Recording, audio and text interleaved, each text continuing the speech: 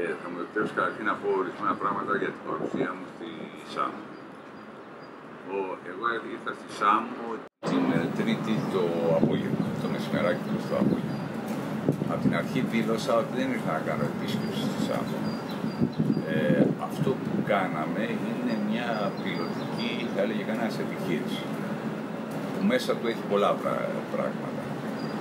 Ε, είχαμε κάνει σοβαρές συζητήσεις και συσκέψεις στην Αθήνα με τις υπηρεσίες του Υπουργείου, με το λιμενικό σώμα, με την αστυνομία, με τις ένοπλες ε, δυνάμεις και, με, και ειδικότερα και με τον αστυνομικό.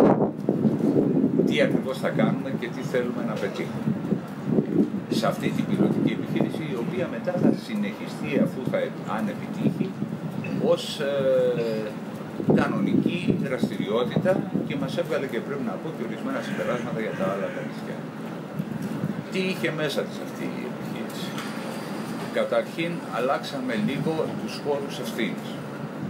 Τι εννοώ, ε, ό,τι είναι στην διοικητική περιφέρεια του Δωδεκανήσου πηγαίνει καταρχήν σε νησιά της Δωδεκανήσου ενώ μέχρι τώρα είχαμε περιπτώσεις που έρχονταν στην ε, ΣΑΠ. Αυτό είναι το ένα και το βασικό.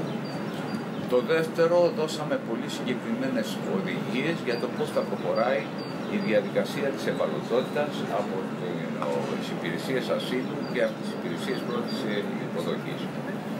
Και αυτό αποδείχθηκε αυτή τη βδομάδα τουλάχιστον ότι επιταχύνει τις ε, διαδικασίες.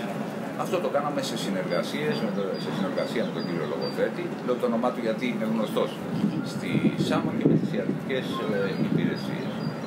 Ε, ο στόχος μας είναι να αποσυμφορηθεί το κέντρο υποδοχής και ταυτοποίησης ε, και να έχουμε ένα μικρότερο αριθμό, άρα οι υπηρεσίες μας να δουλεύουν πιο γρήγορα και καλύτερα. Το δεύτερο ή τρίτο πράγμα είναι ότι το κέντρο υποδοχής και ταυτοποίησης της ΣΑΜ ε, θα αλλάξει. Υπογράψαμε λοιπόν τα συμβόλαια για την λειτουργία του χώρου στα σφαγεία και τη γύρω περιοχή.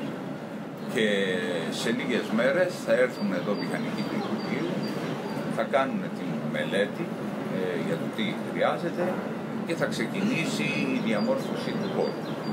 Έχω πει και όχι εμένο, είναι σίγουρο ότι θα γίνει αυτό, ότι το καινούργιο κέντρο υποδοχής και ταυτοποίησης θα έχει μια συνολική δύναμη 1.200 άτομα, θα υπάρχει το κέντρο υποδοχής και ταυτοποίησης και θα υπάρχει και το προαναπαρουσιακό κέντρο, άρα τα 1.200 αναφέρονται και στα δύο, που θα είναι στον ίδιο χώρο και με μια, όπως λένε, buffer zone ανάμεσά τους, ε, αλλά δεν πρόκειται να ανοίξει αν δεν κλείσει αυτό που υπάρχει στο βαθύ. Γιατί είναι και στόχος μας αυτό το κέντρο το οποίο είναι το χειρότερο αυτή τη στιγμή στην Ελλάδα και κατά τη γνώμη μου έχει και χαρακτηριστικά επικίνδυνοτητας, θα πρέπει να πάψει να λειτουργεί.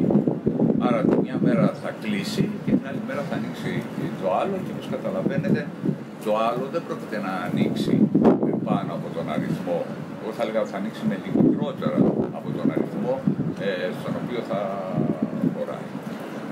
Το υπάρχον κέντρο σε συμφωνία που έχουμε κάνει εδώ και πάρα πολύ καιρό με το Υπουργείο της Άμυνας θα αποδοθεί, θα παραχωρηθεί στο Δήμο στο, της Άμμου, δεν ξέρω πώς θα ονομαστεί αυτός ο Δήμος από αυτή την πλευρά, για να το χρησιμοποιήσει ε, όπως αυτός νομίζω είναι καλύτερο για την κοινωνία της Άμμου. Δηλαδή δεν υπάρχει περίπτωση να λειτουργήσουν δύο κέντρα ταυτόχρονα στην Άμμου, παίρνοντας υπόψη ε, τις ροές που είχαμε την περασμένη και την προπερασμένη χρονιά και το τι πρόκειται να γίνει. Επειδή με ρωτάνε πολύ τι θα γίνει αν θα έχουμε πάρα πολύ αυξημένες ροές, η απάντησή μου τώρα, αυτή τη στιγμή, είναι ότι αν έχουμε πολύ αυξημένες ροές, μιλάμε για μια διαφορετική κατάσταση. Και αυτή η διαφορετική κατάσταση δεν θα συμφωνεί με τη Συμφωνία Ευρωπαϊκής Ένωσης Τουρκίας. Άρα σε εκείνη την ε, περίοδο εμείς θα προσπαθήσουμε αυτό το κέντρο να λειτουργεί με 1200 άτομα αλλά όποιοι αποφασίσουν να ανατρέψουν την ε, Συμφωνία Ευρωπαϊκής Ένωσης Τουρκίας στο επίπεδο του υπερπληθυσμού αντικειμενικά θα θα μας αναγκάσουν να πάρουμε και διαφορετικά μέτρα. Δεν θα καταστρέψω ούτε τα νησιά, ούτε τη χώρα. Θα την κάνω αποθηκή ε, Κύριε Υπουργέ, πόσο μακριά και πόσο κοντά είσαστε από τις απόψεις των φορέων που σας ήρθαν και σας επισκεφθήκαν. Θέλω να πω καταρχήν ότι εγώ ήρθα για να κάνω δουλειά. Δεν ήρθα να κάνω δημόσια σχέσεις. Γι' αυτό το λόγο δεν έδωσα και καμία συνέντευξη σε κανέναν. Είπα όποιος, όποιο μέσο ε, μαζικής ενημέρωσης τη ΣΑΜΟ θέλει ε, συνέντευξη. Υπάρχει άλλη ομάδα που να μιλήσουμε. Είναι ξεκάθαρο ε, αυτό. Όσοι μου ζήτησαν να με συναντήσουν, με συνάντησαν. Όσοι δεν μου ζήτησαν να με συναντήσουν, φυσικά δεν θα πήγαινα εγώ να τους παρακαλάω να τα πούμε. Και αυτό το λέω και σε σχέση με την αντιπεριφέρεια και σε σχέση με το Δήμο που δεν ζήτησε καμία συνάντηση παρόλο που ήξερα ότι είμαι εδώ αρκετές ε, με, τη, με την Επιτροπή έχουμε μία βασική διαφορετική γνώμη. Και αυτή η βασική διαφορετική γνώμη είναι σε τι φάση, σε τι περίοδο είμαστε. Δεν είμαστε στην περίοδο που θα μπορούμε να εξετάσουμε ανάμεσα στο κακέτικο κέντρο και στο μη κέντρο. Είμαστε στην περίοδο που εμείς εξετάζουμε πώς μετατρέπουμε το κακό κέντρο σε άλλο κέντρο με 1.200 ανθρώπους και στην πιθανότητα να υπάρξει, αν πέσει η Συμφωνία Ευρωπαϊκής Τουρκίας, ένα μεγάλο κύμα που ή θα προέρχεται από διακινητές ή θα προέρχεται από άλλους, ε, άλλους λόγους. Ε, προσπάθησα να το εξηγήσω. Έχω την αίσθηση ότι από την Επιτροπή την οποία συνάντησα κάποιοι το έχουν καταλάβει και έχουν προσανατολιστεί σε αυτό το συμφέρον και του Σαμιακού αλλά και συνολικά του ελληνικού λαού.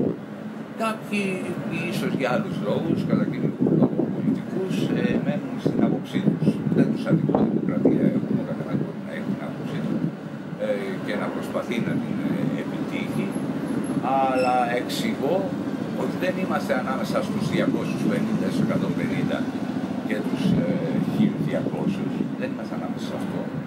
Είμαστε ανάμεσα στους 1200 και στην επανάληψη του 2015 με κλειστά όμως αυτή τη φορά τα σύνορα.